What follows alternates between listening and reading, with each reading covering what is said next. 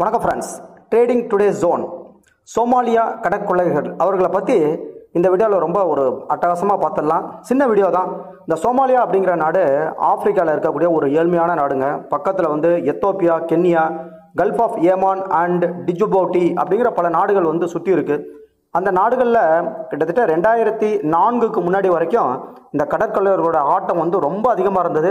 அதன் பிறகு ஓரளவுக்கு வந்து அங்கே ஜனநாயக ஜனநாயகம் தலைத்து ஓரளவுக்கு அமைதியாக இருந்தது. சமீபத்தில் ஒரு பத்து வருட காலமாக இது வரைக்கும் எந்த விதமான பிரச்சனையும் இல்லாமல் இருந்தது. இது சம்பந்தமாக ரெண்டாயிரத்தி பதிமூணாம் ஆண்டு கேப்டன் பிலிப்ஸ் அப்படின்னு சொல்லிட்டு ஒரு அட்டகாசமான வந்து ஒரிஜினல் உண்மை சம்பவத்தை தழுவி எடுக்கப்பட்ட ஒரு அற்புதமான ஒரு படம் ஹாலிவுட் படம். ரொம்ப அற்புதமாக இருக்கும். அது நடித்த நடிகர்கள் எல்லாமே சரி. அந்த படம் வந்து சக்கப்போடு போட்டது இப்போ மறுபடியும் இந்த கப்பல் கொள்ளையர்களுடைய ஆட்டம் வந்து ஆரம்பிச்சிருக்குங்க. என்ன அப்படின்னா இப்போ ரெண்டு நாளைக்கு முன்னாடி நடந்திருக்கு. அதில் நம்ம இந்திய கப்பற்படை வந்து மிகச்சிறந்த ஒரு பணி ஆற்றிருக்கு ஆப்பிரிக்காவின் லிபோனியா நாட்டு கொடி தாங்கிய சரக்கு கப்பல் வந்து எம்பி லைலா நார்போர்ட் அப்படிங்கிற கப்பல் பிரேசியா பிரேசிலில் இருந்து பக்ரைன் வந்து வந்துட்டு இருக்குங்க ஜனவரி மூணாம் தேதி சொமாலியா அருகே வந்தபோது அதில் வந்து திருட்டுத்தனமாக ஆறு கடற்கொள்ளையர்கள் வந்து ஆயுதங்களுடன் நுழைந்தனர். கப்பலை கடத்தி பயணத்தொகை கேட்பதுடன் இவர்கள் நோக்கம். கடற்கொள்ளர்கள் வந்து கப்பல் ஏறியவுடன் அந்த கடலுடைய வர்த்தக பாதுகாப்பு அமைப்புகளுக்காக தகவல் கொடுத்தனர். அங்கே விரைந்த இந்திய கடற்படையின் ஐஎன்எஸ் சென்னை வீரர்கள் வந்து கப்பல் ஊழியர்கள் இருபத்தி ஒரு பேரையும் பத்திரமாக மீட்டனர். இவர்களில் பதினஞ்சு பேர் வந்து நம்ம இந்தியர்கள் தாங்க. இந்திய கடற்படையின் வேகமான விவேகமான அந்த மீட்பு பணியை வந்து ஊழியர் பாராட்டியிருக்கின்றார்கள் ஜனவரி நாலாம் தேதி சோமாலியா கடற்பரப்பில் இருந்து இந்த கப்பல் சென்று கொண்டிருந்த போது கடற்கொள்ளையர்கள் வந்து கப்பலுக்குள் ஏறினார்கள். இவர்கள் ஆயுதங்கள் வருவதால் கப்பல் ஊழியர்கள் இருபத்தி ஒரு பேரும் ஸ்ட்ராங் ரூம் எனப்படும் அந்த பாதுகாப்பு அறைக்குள் வந்து புகுந்து தாளிட்டு விட்டனர். அதை உடைச்சிருக்கிறது அப்படிங்கிறது ரொம்ப ரொம்ப சிரமம். இங்கிலாந்து கடல்சார் பாதுகாப்பு அமைப்புக்கு தகவல் கொடுத்தனர். அவர்கள் இந்திய அரசுக்கு உடனடியாக தகவல் தந்தனர்.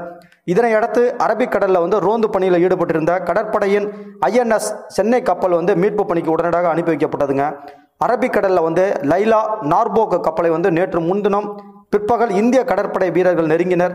ரோந்து படையின் பயன்படுத்தும் அந்த ஹெலிகாப்டர் மூலமாக பறந்து சென்று கடற்கொள்ளையர்களுக்கு வந்து எச்சரிக்கை செய்ததுடன் கப்பலின் மேற்தளத்தில் காணப்படும் அந்த மாற்றங்களை மற்றும் பதுங்கியுள்ள ஆட்கள் குறித்து விவரங்களை சேகரித்தனர். இது தவிர இந்த ட்ரோன் மூலமாக கப்பலின் மேல்தளத்தையும் ஆய்வு செய்தனர்.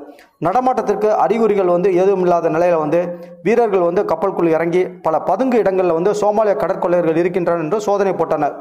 அதன் பிறகு வந்து அந்த ஸ்ட்ராங் ரூமில் இருந்த பணியாளர்கள் அனைவரும் வந்து வெளியே வரச் செய்தனர். கப்பல் வந்து மீண்டும் மின் உற்பத்திக்கான உதவியை செய்து துடுப்பு சுழலை இயங்க வைத்து உதவினர். அவர்களுக்கு அந்த பக்ரைன் நாட்டை நோக்கி அதுக்கப்புறம் புறப்பட்டாங்க. ஹவுதி தீவிரவாதிகள் செங்கடல் வழியாக இந்த கப்பல்கள் மீது தாக்குதல் நடத்தி வரும் நிலையில் இந்த சம்பவம் நடந்திருக்குங்க. இந்திய கடற்படை வீரர்கள் சென்றபோது இந்த கடற்கொள்ளையர்கள் அனைவரும் இரவு நேரத்தில் வந்து தப்பிவிட்டதாக கூறப்படுகிறது. சரக்கு கப்பல் லைலா குளோபல் என்ற நிறுவனத்துக்கு சொந்தமானது. இந்த நிறுவனத்தினுடைய அந்த சிஇஓ மிஸ்டர் ஸ்டீவ் குன்சார் அவர் வந்து இந்திய கடற்படைக்கு இந்த விரைவான நடவடிக்கைக்கு ரொம்ப நன்றியும் பாராட்டும் தெரிவிச்சிருக்காரு. ரொம்ப ஒரு அற்புதமான த தருணம் தாங்க இது. மேலும் வந்து இத்தகைய கடற்கொள்ளைகள் அனைத்துமே வந்து தடுத்து ஒடுக்கணும். இதற்கு வந்து நம்ம இந்திய அரசாங்கம் வந்து வெறும் பங்காற்றுகிறது அப்படின்னு நிச்சயமாக சொல்லலாங்க. வாழ்க வளமுடன் வாழ்க வளமுடன் ட்ரேடிங் டுடே ஜோன்